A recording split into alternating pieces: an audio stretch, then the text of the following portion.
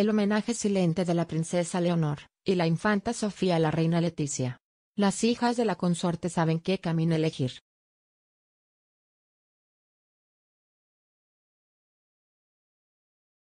Lenta y paulatinamente cada cosa se encuentra volviendo a su lugar o cobrando su ritmo habitual en la familia real.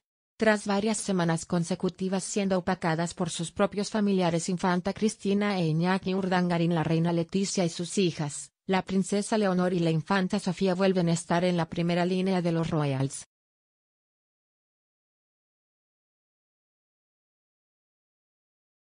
Si bien, en reiteradas ocasiones se destacó la entereza e imperturbabilidad que mantuvo la reina Leticia para alejarse de la polémica de su cuñada y el ex balonmanista, fue inevitable que los Borbones no sean señalados, más aún, teniendo en cuenta la hoja de vida sentimental del rey Juan Carlos que en más de una ocasión hizo temblar los muros de Zarzuela.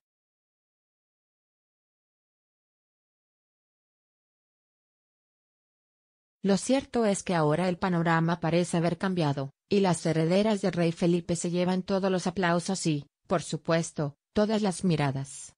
Así como fue imposible tapar el sol con un dedo respecto a los escándalos amorosos del ex duque de Palma, es inevitable querer mirar a un costado, y no notar que la princesa Leonor, y la infanta Sofía están creciendo a pasos agigantados.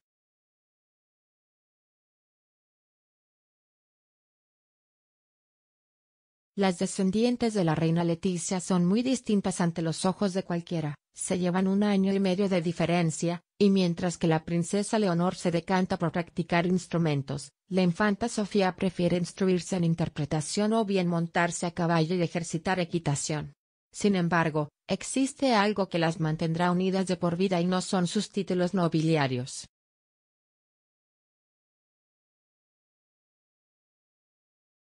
Las nietas de los reyes eméritos no solo aman a su madre, y se dejan aconsejar para mantener la calma y moderación en la corona española, sino que la consorte se convirtió en el fiel ejemplo a seguir por las jóvenes, y esto ya quedó evidenciado en más de una ocasión.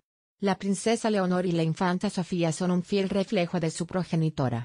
Sucede que a la reina Leticia no hay quien le gane en moda y estilo.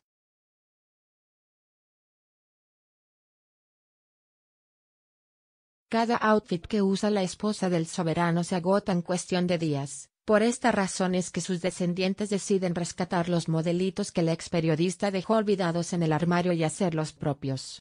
Los diseñadores y firmas elegidos por sus majestades son, Carolina Herrera, Hugo Boss, Sara, Mango, pues son los más elegantes, modernos y favorecedores para lo que ellas necesitan, estar siempre impolutas y elegantes.